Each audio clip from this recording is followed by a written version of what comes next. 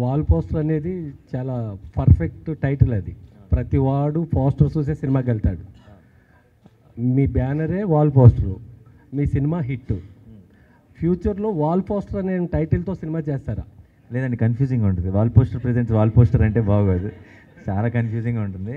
అంటే నాకు నాకు ఇది ఎప్పుడో చిన్నప్పుడు అనుకున్న పేరు ఎప్పుడైనా సినిమాలు తీస్తే ప్రొడక్షన్ హౌస్ పెడితే దానికి వాల్ పోస్టర్ అని పెట్టాలని. ఎందుకంటే నాకు నేను నేను ఇప్పుడు యాక్టర్ అయిన తర్వాత కూడా కారులో వెళ్తూ నా నాకు సంబంధించిన ఒక హోర్డింగ్ ఏదైనా చూసినా లేదంటే నా సినిమాకి సంబంధించిన రివ్యూ చదివినా లేదంటే ఎక్కడ ఏమైనా అప్రిసియేషన్ చూసినా నాకు సంబంధించిన క్లిప్ చూసినా దేనికి రాని కిక్ అక్కడ ఎక్కడైనా సరే ఆ ఫిలిం నగర్ రోడ్లో ఎక్కడో వాళ్ళ పక్క నుంచి వెళ్తుంటే ఓ చెత్త పుట్ట పక్కన వాల్ పోస్ట్ ఉంటుంది చూసారా?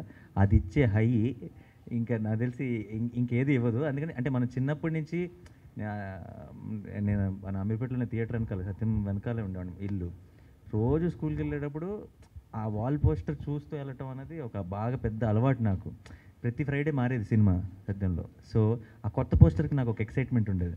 ఆ- పోస్టర్ని దగ్గర నుంచి చూడటంలో కరెక్ట్గా మన వాల్ పోస్టర్కి దగ్గరికి నడుచుకుంటూ వెళ్తే మనంత ఉండేవాళ్ళు మనుషులు కరెక్ట్గా. సో తెలియకుండా వాళ్ళతో ఒక పర్సనల్ కనెక్ట్ ఒకటి ఏర్పడేది.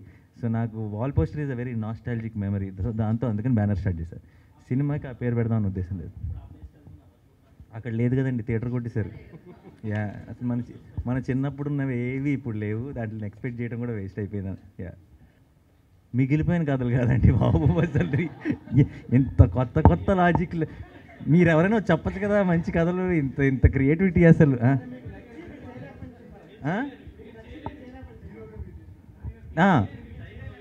అదే లేదు అసలు నాకు నాకు నేను యా నాకు డెఫినెట్గా ఇప్పుడు నేను నేను విని నేను యాక్టర్గా చేయలేని ఈ సినిమా నాకు కానీ పిచ్చి పిచ్చిగా నచ్చేసిందంటే వాల్ పోస్టర్లో ఇమీడియట్గా స్టార్ట్ అయిపోతుంది. మిగిలిపోయిన అనేటప్పుడు భయపడ్డాను. ఓకేనండి. సంవత్సరానికి మూడు సినిమాలు యాక్ట్ చేస్తూ. మీరు ఇలా ప్రొడ్యూసర్గా అయిపోతే మా ప్రొడ్యూసర్ పరిస్థితి ఏందండి? సార్ ప్రొడ్యూస్ చేసేది కూడా మీరే కదా సార్ రిలీజ్ చేస్తుంది. నేను డిస్ట్రిబ్యూటర్ అడగట్లా. అది తీసుకొచ్చి కూడా మీ చేతిలోనే పెట్టాం. ఆ, యాక్టర్గా మా సర్వీసెస్ మీకే. నేను లోపలికి ఎంటర్ అవుతూ ఈ ప్రెస్ మీట్కి నేను ఎందుకు పిలవలే అని అడగటానికి వచ్చాను సార్ నేను. సార్ ఆ- ఒకటి దిల్ రాజు గారు ఆ సినిమా తీయరు హిట్ సినిమా తీయరు అది తీయడానికి ఎవడోడు కావాలి కదా అది నేను. మీరు తీసే సినిమాల్లో మేము యాక్ట్ చేస్తాం. చేతులు ఏమైనా ఉంటాయా?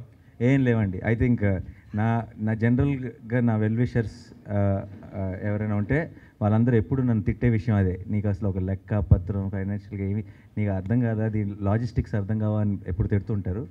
But because I come from that backdrop నేను ఒకప్పుడు అసిస్టెంట్ డైరెక్టర్ కాబట్టి నేను క్రియేటివ్ సైడ్ దేనికి నో చెప్పలేను కాబట్టి నేను actually I'm wrong example as a producer but I hope with the content and the films I make I will become a right example in future thank you